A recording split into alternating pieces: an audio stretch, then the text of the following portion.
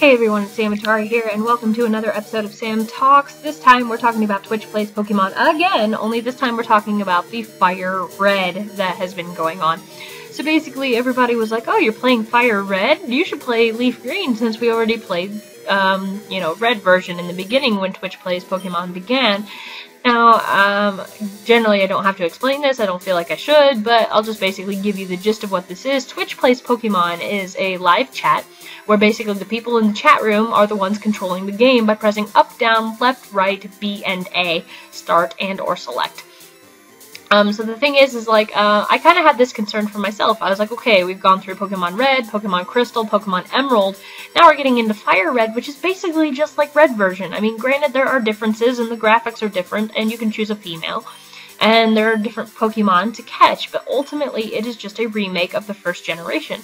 So how are we going to make this interesting? Now, people started trying to do things like they tried to make pre-lore, which means they tried to make a story before the game even happened. This made a lot of people on the subreddit mad, and they're like, no, you can't create lore before you know, the game's already begun, which I agreed with, because you can't basically put a story on a track, otherwise it'll get messed up. But basically what happened was, um, they tried doing that, uh, but the streamer surprised us. Basically, Fire Red was not played as an unmodded game like the other ones were. The other ones were unmodded, therefore, you know, they played just like the normal game. But this one, however, this Fire Red is on a randomizer, and a randomizer makes things totally chaotic. Now, I know that the purpose of this was to bring people back to Twitch Plays Pokemon, because when Emerald hit, the game had fallen a lot. A lot of people lost interest after Crystal, um, because it wasn't as funny as Red, and then Crystal, you know, like I said, wasn't as funny as the first one, and so they thought the third one wasn't going to be as funny as the second one, and, you know, so it lost a lot of viewers. So I know the randomizer was to kind of bring people back, get people interested, because they were bound to wonder what was going on. I mean, hell, when you look at the screen and all of a sudden you're starting out with a Machop and you're fighting a level 5 Mewtwo, like, what? I was so mad when we could not catch that Mewtwo. If you have no idea. So basically, yeah, so the game's completely random. Like, uh, Brock ended up being a bug-type trainer, Misty ended up being a poison-type trainer, and yeah, it just basically has all spiraled out of control since then.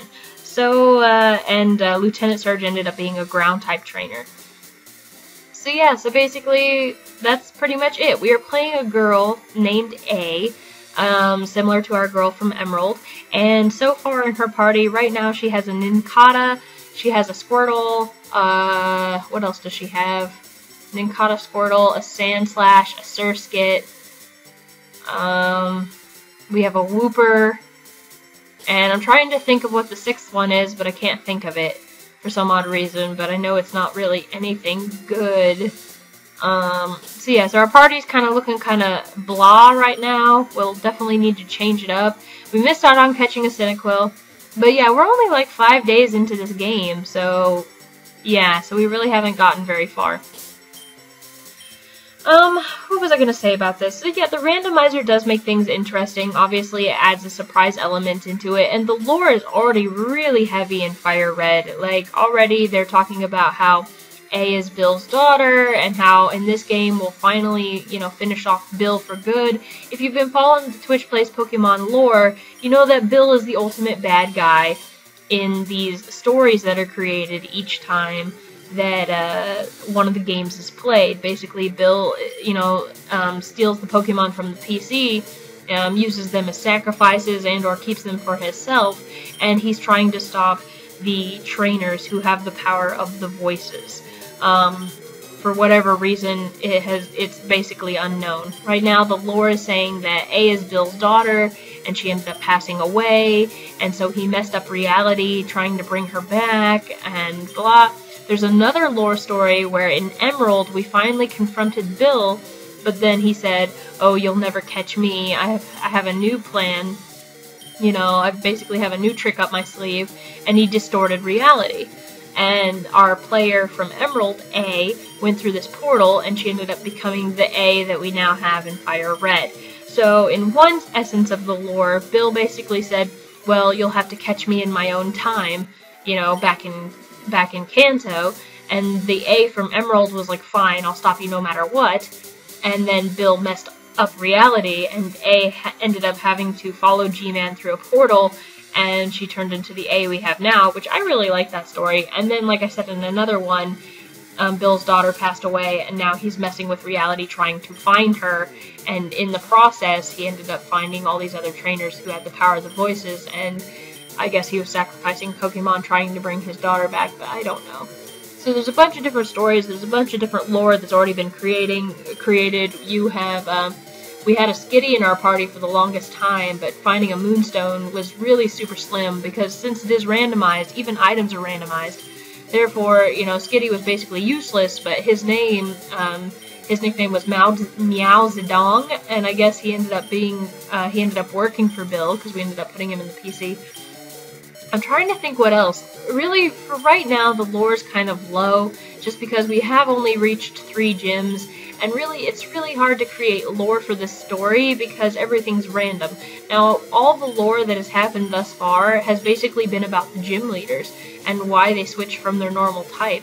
Um, I just recently saw a comic about Poison Misty and why she became Poison Misty, and it's because Bill offered her a potion to um, make her stronger because she had not only lost to Red, but she had also lost to um, AJ.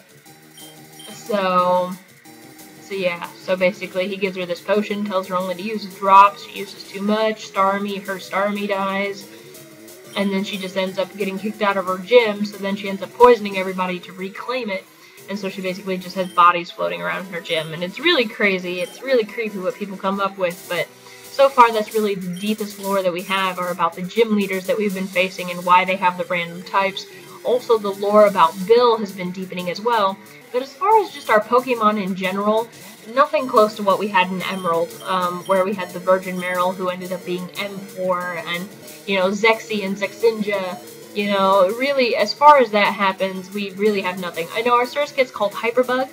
We have uh, our Sandslash is usually called like Fire Slash or Thunder Slash. He's called a variety of different names.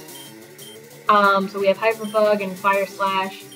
Um, and then we have Attack, which is a, a Talk, which is our Squirtle, who likes to use Odor Sleuth all the time instead of actually attacking.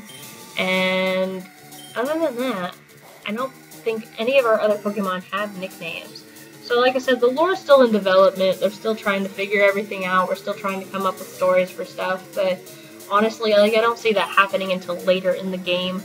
Um, other than that, everything's just crazy. Um, we missed out, like I said, we missed out on catching that Cyndaquil, and I'm so mad because Typhlosion's like my favorite Pokemon ever, and we need better Pokemon in our party. Our Nincada's or our Surskit's already level 31, but we stopped it from evolving, which was terrible. Um, and so I really just have nothing else to say. We have our we have two Pokemon that are really high leveled as usual, and then the rest are really low leveled, and we are constantly whiting out because we just have no place to heal ourselves and we can't get around to doing it. So it's your typical Twitch plays Pokemon the beginning. The thing is, like I said, we've only been playing for about five or six days, but we're already so far into it. We already have three badges. We only have to get eight. So chances are we we will end up beating this game a lot quicker than what we beat uh, Emerald, even if it is randomized. We seem to be doing okay. We seem to be doing better than okay. Um, so I can I can sense that this is probably gonna the uh, this quest of ours, this game is probably gonna end up uh, end a lot sooner than what uh, Emerald did, and then after that, I'm wondering if we're gonna go ahead and continue on to Platinum. Now I would like to see Platinum done. I would also like to see White and you know uh, white or black, or white version 2 or black version 2 done as well. Same as I'd like to see them do Pokemon X and Y. I think Pokemon X and Y would be hilarious. Um, obviously, we wouldn't be able to do things like a me or speed training, but ultimately, I still think it would be a really cool deal. Um, so go ahead and hit like if you like this video. Um, if you want to watch Twitch Plays Pokemon for yourself, go ahead and check it out. I recommend you checking it out on twitchplayspokemon.net which is the actual website, which will give you highlights of the day. It'll tell you about the party, you can see the chat, you can get a live update via tweet, um, and just live update in general uh, via a separate chat system. Then, of course, you have your video and uh, previous Hall of Fames, as well as images on the top to let you know how many badges we have, how many days we've been playing, and etc., etc., etc. So if you want the better resources, I prefer you watch it on the actual website than watching it on Twitch. um, but that's just my personal opinion. Also, if you want to become a religious follower of Twitch Plays Pokemon, I would suggest you follow their Tumblr or you follow the subreddit that is dedicated to it so that you can keep up with the lore, which is what makes this truly fascinating. Um, for my other Twitch Plays Pokemon videos, be sure to check out the Sam Talks playlist. I go over one about Twitch Plays Pokemon in general and show video from the Crystal playthrough. I say goodbye to Pokemon Emerald and talk about the lore there. And then, of course, you have this one right here. Um, I don't know if I'll be making another Twitch Plays Pokemon video. Um, I might do one in parting saying bye to Fire Red and talking about some highlights. I will probably not uh, do a Sam Talks on this often since I don't want to be updating every single day and telling people what happened in that day. Um, just because I just really just don't feel like keeping people that updated on something. Uh, but yeah, so go ahead and hit like if you like this video. Leave me a comment down below if there's anything that you're wanting to know. About Twitch Plays Pokemon. Let me know if you follow it. Let me know what you think is going to happen. Um, go ahead and give me some estimates of what you think the other gym leaders might be. Um, and go ahead and start posting about what you think the E4 might be. Uh, also talk about anything else that you might, you know, think is important. Who you want in the party, who you think we need in the party, what we need in the party in general in order to advance. I'm always up for discussion. And as always, someone who says, Hail Felix, uh, one lucky random person who says Hail Felix, or not Hail Felix, ha, PewDiePie, Hail Helix. Whoever says Hail Helix, one lucky person will be getting something from me via po my Pokemon Y version. Um, usually some trade fodder, but sometimes I do give out some pretty cool stuff. And now that my internet is actually wor working, so go ahead and leave that in the comments as well, and maybe it could be you. Um, anyways, Feel free to subscribe to my channel. I am playing games, but at the moment I'm doing more Sam Talks just because they're fun, and just because I haven't really had chance to record any games as of late. So go ahead and follow my channel if you feel like it. Go ahead and follow me on Facebook and Twitter. And uh, as always, this has been Sam out, and I'll talk to you guys later. Alright, ciao you guys.